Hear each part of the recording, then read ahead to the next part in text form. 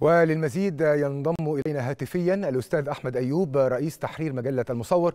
أستاذ أحمد بعد التحية عمليات التنمية في سيناء متنوعة هناك تنمية زراعية وصناعية وغيرها من المجالات. ألا ترى في ذلك أداة لتعزيز الكتلة السكنية وجذب ملايين السكان لسيناء؟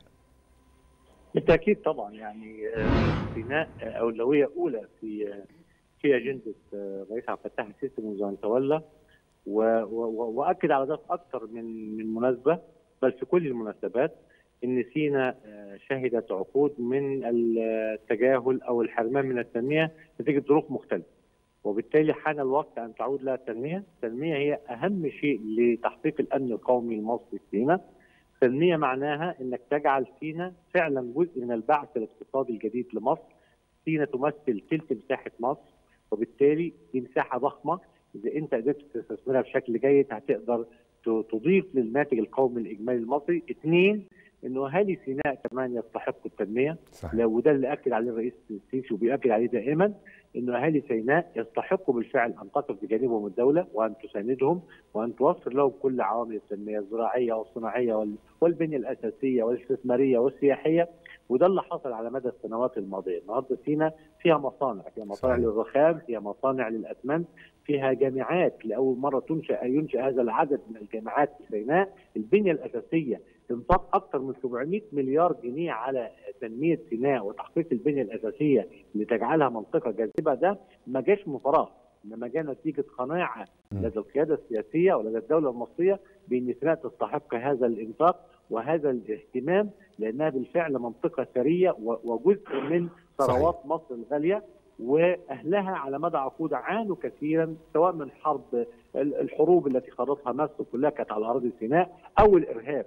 وفي كل الأحوال أثبت أهل سيناء أنهم وطنيون وأنهم جزء من النسيج المصري الحقيقي اللي بيدافعوا على أرضهم وقفوا بجانب الدولة ساندوا الدولة وبالتالي جاء دور كما قال الرئيس جاء الدور على الدولة أن ترد هذا الجميل لأبناء سيناء وإنها تساندهم بتحقيق تنمية صحيح. تعود عليهم بفرص عمل تعود عليهم بتحسين مستوى المعيشة. طب برأيك أستاذ أحمد الدور الذي يقوم به أهالي سيناء في مواجهة الإرهاب من ناحية ومن ناحية أخرى أيضا المشاركة في عمليات التنمية الواسعة التي يعني تنتشر في كل شبر من أرض سيناء الغالية.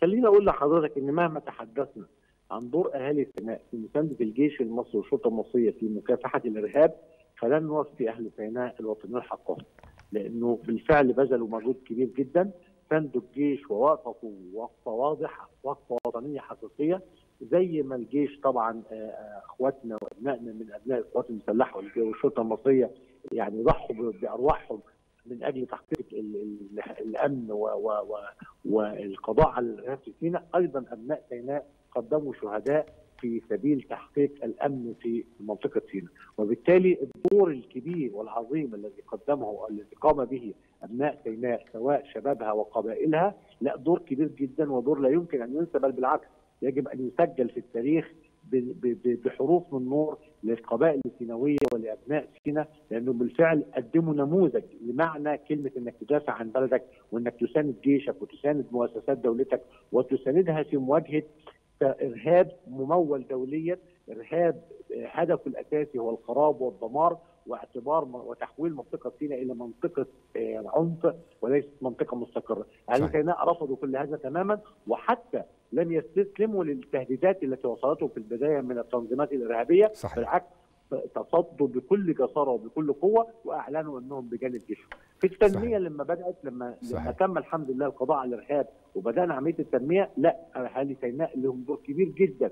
اولا أولوياتهم اللي تم شاركوا الدولة وشاركوا مؤسسات الدولة في تحديد الأولويات وده كان ده كمان كان اعتراف من الدولة بأهمية الاستماع إلى أهالي سيناء. اثنين نتذكر جميعا الرئيس عبد الفتاح السيسي لما أكد عندما كان يدشن معدات اللي رايحة لسيناء عشان تعميرها قال إن لابد أن يكون للشركات السيناويه وشركات أبناء سيناء. صحيح. والأبناء سيناء الدور الأول والاهتمام الأول فيما يتعلق بالشركات اللي هتشتغل في التنمية لأن هم اولى هي عملية متكاملة يلعب فيها أهل سيناء دورا كبيرا في التنمية داخل سيناء الحبيبة. أشكرك شكرا جزيلا الأستاذ أحمد أيوب الكاتب الصحفي رئيس تحرير مجلة المصور.